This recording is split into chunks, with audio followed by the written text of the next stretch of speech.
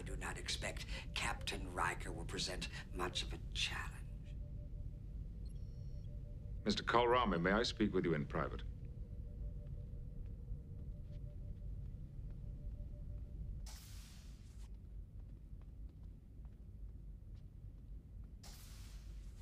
I would like to know the root of your prejudice for my first officer. Oh, Captain, Mr. I you have been nothing but denigrating and abusive of Commander Riker since coming aboard this ship.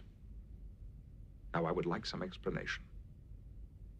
Having studied William Riker's file prior to this assignment, I have found him wanting.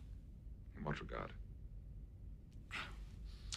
His work record is exemplary, but as you know, a starship captain is not manufactured.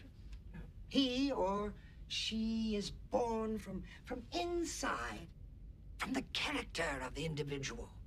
My interviews have revealed a man who displays circumstantially inappropriate joviality, belying the seriousness of his station. Don't confuse style with intent.